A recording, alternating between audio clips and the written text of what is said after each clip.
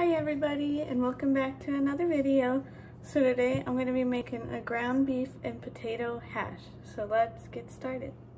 I have three potatoes that I've washed and peeled and we're just going to dice them up.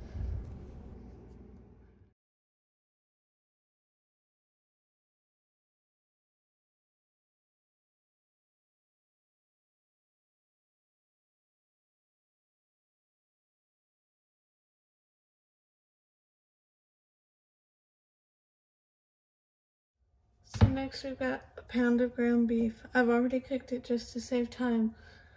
But what you're gonna do is just cook it in a skillet with a little bit of salt and pepper until there's no pink left. Okay, so I've got a skillet on medium high heat and I'm gonna add one green pepper, half a cup of onion, and the potatoes, which is about two cups. And we are just going to saute this until it is all browned and softened. So I will come back when that is done. So now that that is done, I've lowered the heat. I'm going to add two cl minced cloves of garlic, one teaspoon of coriander, one teaspoon of cumin, an 8 ounce can of tomato sauce, and a bay leaf. And we are just going to mix that and simmer it. So this is going to sit for 10 minutes on low heat and I'm going to cover it with a lid and we will come back when that's done. So now it has been 10 minutes and this is what it looks like.